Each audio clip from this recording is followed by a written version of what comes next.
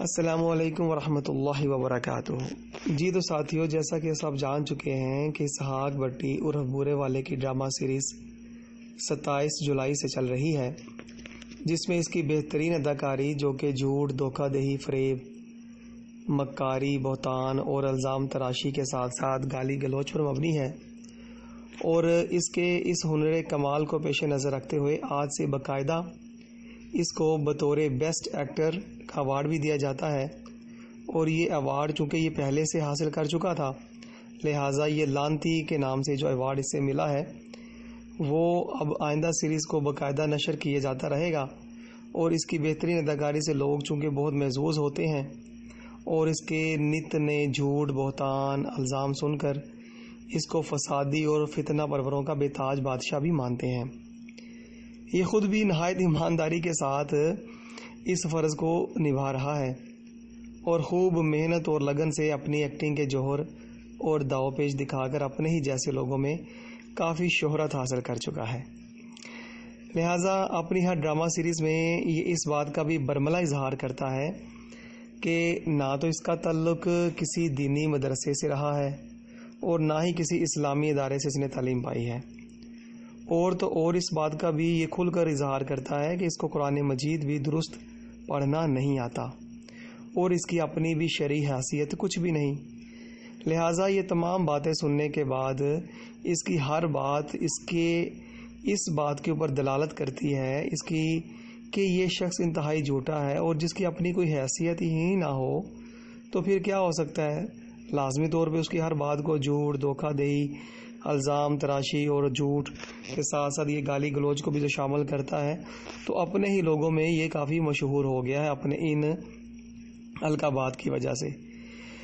لہٰذا ساتھیوں، آج سے باقاعدہ اب یوٹیوب کے اوپر اس کی جو بھی یہ اپنی مطلب آڈیو جو کہ ایک ڈرامے کی صورت میں یہ پورا تیاری کر کے وہاں پر ارسال کرتا ہے اور اس کے ارسال کردہ اس ڈرامے کو بخوبی اور احسن طریقے سے جو اپنے ساتھیوں کو بھی شامل کرتا ہے اور ان کے پیچھے آ کے چھپ جاتا ہے اور اب تو باقاعدہ اب اس نے افراد کو بھی تیار کر لیا ہے جو کہ اس کے ساتھ معاونین ثابت ہوتے ہیں اور اپنی اداکاری کے ساتھ ساتھ وہ بھی جوہر دکھاتے ہیں۔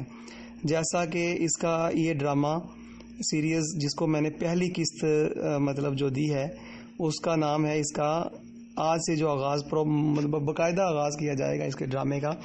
جو اس نے پہلا ڈرامہ جس کو میں پہلا نمبر دے رہا ہوں، وہ ہے عقیل کا جواب دو۔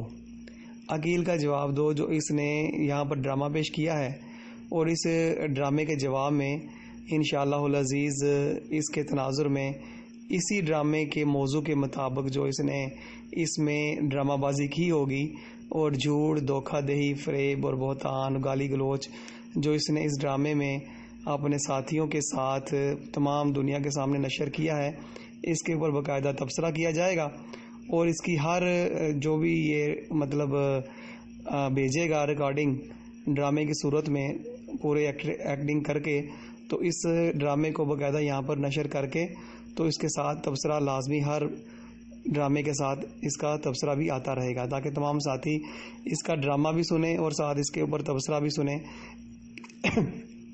کہ یہ کس طرح سے فتنہ پھیلا رہا ہے۔